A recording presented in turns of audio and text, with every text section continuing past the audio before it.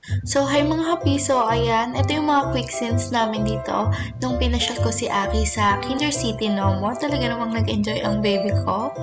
So, yan guys, syempre pati ako nakibata na.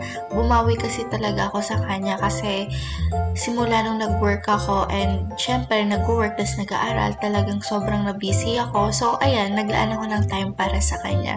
Sa part na yan guys, talagang sabi niya, Mama, stop na. Pero hinilo ko talaga siya para mamaya tulog pag uwi. So, yan.